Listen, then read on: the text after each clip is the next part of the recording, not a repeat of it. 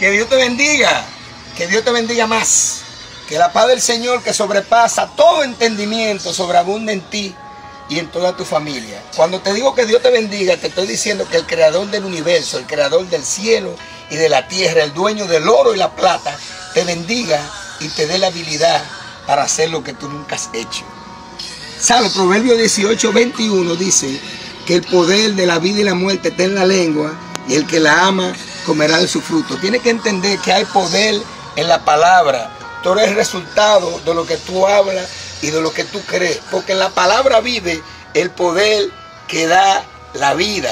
¿Sabe? El que no sabe lo que es, no sabe hacia dónde va. En este camino hay que tener fe, amado hermano. Fe es certeza de lo que se espera, con visión de lo que no se ve. Certeza es pararte debajo de una promesa con la convicción de que si Dios lo dijo, Dios lo hará.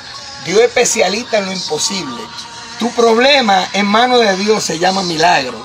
Tienes que creerlo, tienes que hablarlo y tienes que declararlo en el nombre de Jesús.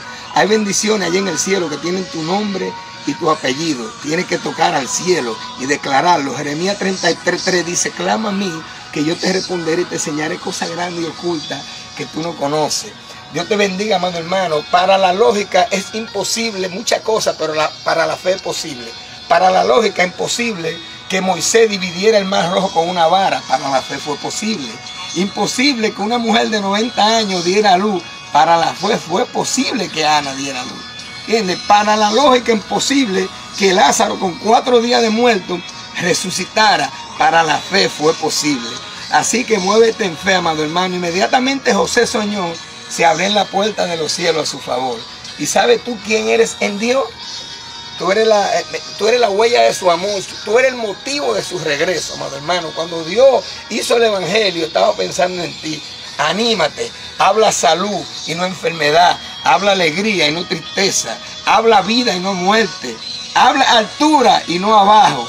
Te felicito en el nombre de Jesús, que Dios te bendiga más y recuérdate que sin Dios nada podemos hacer. La tierra se bebe el agua que muchas veces cae del cielo, luego nacen los frutos, crece la hierba el labrador se ha dado cuenta que ha sido bendecido.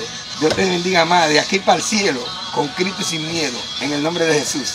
Amén.